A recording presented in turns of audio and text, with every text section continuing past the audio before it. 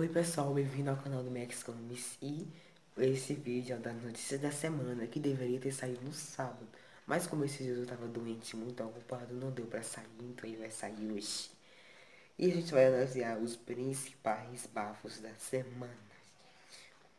Bom, temos novos álbuns vindo aí. A Pablo Vittar lançou a música Problema Seu E o clipe que foi o maior sucesso, eu amei a música, é muito contagiante e também não só a Pablo, mas a Little Mix também vai lançar um novo álbum. Inclusive eles lançaram um trecho de uma nova música. A música, eu vou ler aqui o trecho porque é muito grande eu não consegui decorar. No trecho diz, eu não preciso de um homem. Se eu estou amando você é porque eu posso. Eu não quero seu dinheiro, eu coloco minha própria pedra na minha mão. Essa pedra eu acho que deveria ser um anel de compromisso, todo mundo tá achando isso. E essa música deve ser, essa não só a música, o álbum delas deve ser um pouco feminista, como o Salute também foi. Também tem o BTS que ficou a 12 semana no topo da Billboard sucesso ao BTS e ele passou o Justin Bieber também no top 50 best, que eu amei, não é porque eu não gosto muito do Justin Bieber, e eu achei que o K-pop tá crescendo e tem que crescer muito mais ainda. Sucesso a vocês, K-popers.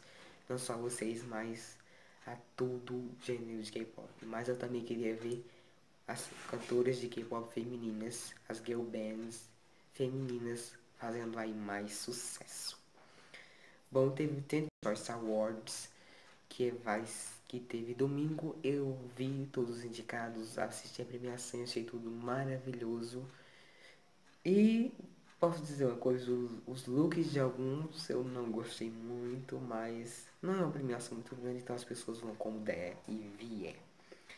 Também teve toda aquela polêmica da Selena passando, Cristiano, mas ela já acaba um pouco, porque a Selena postou umas fotinhas com as amigas e conseguiu mais de 9 milhões de curtidas com essas fotinhas, né? Ela também anunciou que o seu novo álbum só vai sair no ano que vem e que a música favorita do álbum é Harry. É bom, eu queria que o álbum saísse esse ano, mas se ela tá querendo gravar uma estreia muito poderosa, sucesso aí pra ela.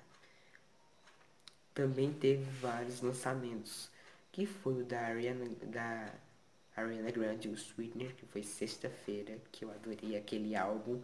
E o próximo single vai ser Breathing, que eu quero ver aquela música virando single, por favor lança logo o Army e teve o da Nicki Minaj e Queen, que eu gostei mais, o Sweetener ficou no meu coração essa semana como melhor álbum. Também teve a Camila Cabello lançou o remix da música Real Friends com rappers Philly. Eu prefiro a original. Sinto muito mais essas músicas com rap, algumas não me agradam tanto. Bom, e a Perry do Little Mix passou por uma cirurgia no estômago mas ela passa bem, até postou a foto no Instagram comendo a sobremesa favorita dela. E também ela postou outra foto mostrando as sardas dela. E por que ela postou isso? Porque o pessoal de hoje, a Demi Lovato também tem sardas, eles se maquiam muito para esconder as imperfeições. Porque a sociedade de hoje, ela impõe um padrão que você precisa ser bonito para você fazer sucesso. O que não é verdade. A beleza interior é a melhor de todas. E a beleza de cada pessoa é sempre especial. Também teve a polêmica da Fifth Harmony, que elas não ficaram juntas lá no Ten Choice Awards. Mas o que eu posso dizer, a Normani disse que elas não brigaram e que elas vão super bem, uma desejando sucesso na carreira da outra. Mas eu acho assim que a relação delas está meio abatida e eu acho que a Fifth Harmony poderia não voltar mais. Essa é a minha opinião você ainda pode ter um pouco de esperança, mas eu vou dizer isso logo. Bom, e a Kylie Jenner comprou uma bolsa para a filha dela avaliada em 100 mil reais. E o pessoal começou a dizer, nossa, o pessoal passando fome, ela comprando uma bolsa para a filha. Gente, o dinheiro é dela, a filha dela. Ela pode dar o que ela quiser para a filha, além do mais que ela também ajuda alguns projetos. Então o pessoal critica muito, gente. Sinto muito, mas vocês também são meio bregas. Saiu o vídeo da música Don't Leave Me Alone do David Guetta com a Anne Marie. O que eu posso dizer, eu gostei um pouco da música, mas do clipe nem tanto. Eu acho que poderia ser bem mais produzido. Sinto muito David Guetta e Anne-Marie, mas eu só digo verdades. Também tem o Niall Horan e a Hayley Staples, que eles são um casalzinho agora, eu adorei.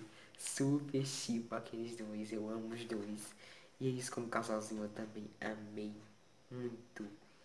A Blackpink lançou a música The Do Do Do Do em versão japonesa.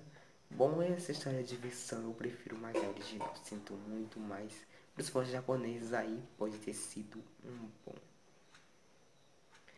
Outros lançamentos que tiveram, que eu amei muito, foi outro lançamento que teve, né? Que foi o do Marshmello com a Bessel, que foi Happy Year, que essa música também é maravilhosa nossa. E também teve Kevin Harris e Sam Smith com Promises. Bom, mas isso não só foi. Hoje semana foi muito comprida. A Ariana foi no Carpo Karaoke um pouco antes de lançar o álbum dela. E ela mostrou que ela tem potência vocal. E fez lá uma apresentação maravilhosa. Ela e a Demi Lovato, as duas são as, as cantoras populares que tem mais força vocal para tudo isso. Também continuando aqui, gente, temos o álbum da Ariana que foi primeiro lugar em mais de 90 países.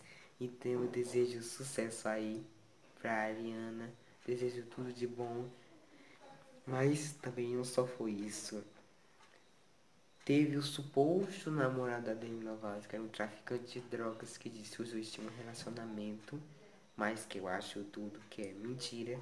Eu queria indicar uma série pra vocês, que é a série Desencanto, que ela é, é animada, mas é muito legal, muito divertida e muito contagiante e cheia de memes, né? Eu amei a série.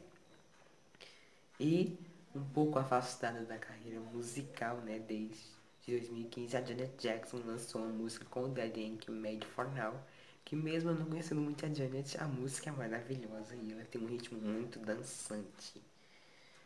Mas e a grande bomba da semana, Nick Jonas e Priyanka Chopra, os dois, os dois postaram fotos em seus respectivos Instagrams, postando um casal. Nick Jonas disse futura senhora Jonas e tem tudo aquele amor. Ele foi visitar a família dela, foi tudo muito divertido. Bom, por mais que eu goste do Nick e a Demi, eu desejo felicidades ao casal, quero todo o sucesso do Nick e da Priyanka, desejo toda a felicidade para eles. E eu, sinceramente, até gostei um pouco do casal.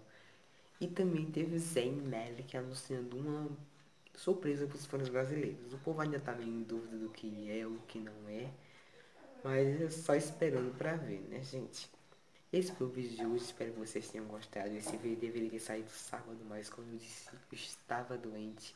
Então dê like, comente, compartilhe e até a próxima.